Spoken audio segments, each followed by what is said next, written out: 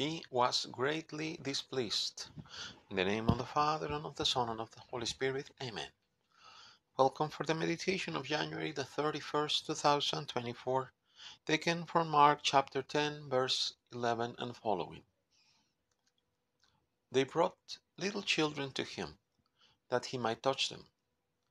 But the disciples rebuked those who brought them. But when Jesus saw it, he was greatly displeased and said to them, Let the little children come to me. Glory be to thee, O God, and glory be to thee.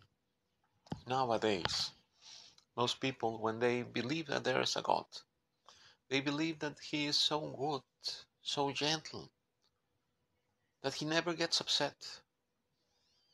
So we act like devils, but still call upon God and think that we are still protected by God, no matter how we live.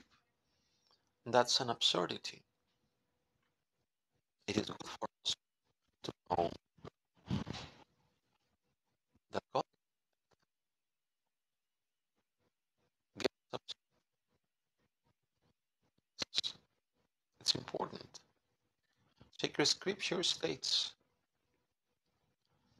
the start of wisdom is the fear of God. And again in the psalm it says, Do not correct me in your anger. Can you imagine the Christ upset against you? Wouldn't you tremble?